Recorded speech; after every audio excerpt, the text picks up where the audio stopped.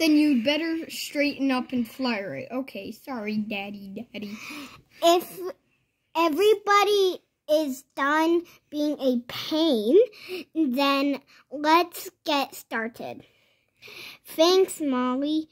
Today we're gonna work on ideas.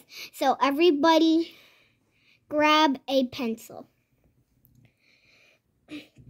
And draw a line On on, your paper? on your paper Like, like mine.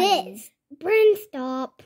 Like this. now, on the left, write a five things you love. Pizza, bubblegum, squids, videos, Ridge. Kelly, Big something? Daddies. You know- comics, fireflies, popcorn, friends. Bruh. Okay, now on the other side, you're right.